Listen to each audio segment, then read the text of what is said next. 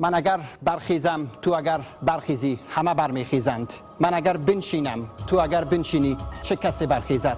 تشکر آقای رئیس جمهور. از همدردی و همنوایی جانسوز شما با فاریابیان و بدخشانیانی که اکنون در خاک و خون خفتند. پیام مردم آسیب دیده و در سوق نشسته برای رئیس جمهور. جناب عالی وقت نکردید حداقل قدم رنجمی کردید و از ملت خود جویای احوال می شدید از وضعیت فلاکتبارشان با خبر می شدید و از نزدیک مشاهده می کردید که در این دوازده سال واقعا چه اندازه کارهای زیرساختی مسمر و ستودنی برای سرزمین خود انجام دادید. یا می دانستید از اینکه کار اساسی نکرده اید در حراس بودید که با چه چهره نزد مردم خود بروم. دست کم اگر از نزدیک وقت نکردید سر بزنید لاقل یک پیام کوتاه تلویزیونی و تصویری که می توانستید برای مردم رنجدی خود ابراز کنید و اعلام می کردید که چقدر شما هم در این درد ملت شریک هستید. هر بار چنین فجایع بزرگ در کشور رخ داد پیام جنابالی این بود برای همه صبر و بردباری تمنا دارم. آخر چه اندازه صبر و تا کدام این روز صبر؟ حملات وحشیانه انتحاری صورت گرفت و کودکان نازنین به کام مرگ رفتن. گفتید صبر. در این محل و در آن محل حادثات جانسوز صورت گرفت. گفتید صبر. فاریابیان عزیز برای روزهای متوالی در زیر خاک نشستن. گفتید صبر. آخر کاسه صبر مردم دیگر از این گونه کارها لبریز شده است. معاون عالی قدر شما به فاریاب می رود و برای مردم سیه روز وعده نمره زمین می دهد مگر نمره زمین چه درد از آن مردم کم می کند با زمین می چه کار کنند؟ گورستان برای خود بسازند؟ وای اگر از همان نمره های باشد که سالها وعده کردید ولی در یخ نوشتید و در آفتاب گذاشتید. معلوم نیست برخی سازمان ها و نهادهایی که در این واپسین سالها ساخته شد مأموریت اصلیشان چیست؟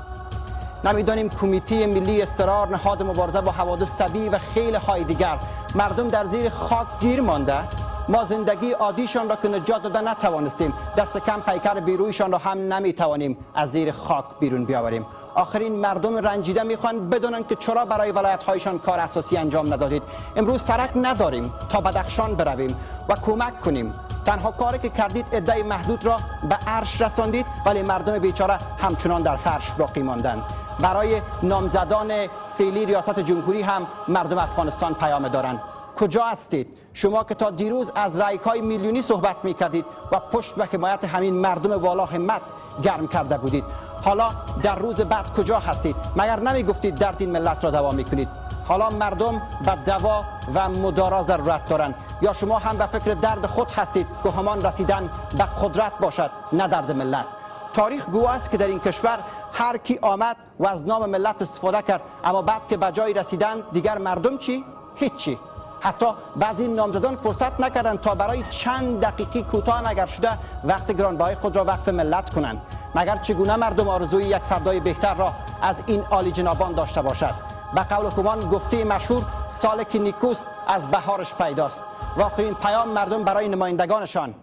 از شما هم تشکر وکلای گرامی که برای روزهای پیکم مجلس دربش برخ شما باز بود تا حضور پیدا می کردید و به چنین حالات فاجعه بار فکر می کردید و طرح عملی می ریختید ولی همه ملت شاهد بودند که روزها کرزیک های مجلس خالی بود و نمایندگانشان به فکر کارهای شخصی خود بودند.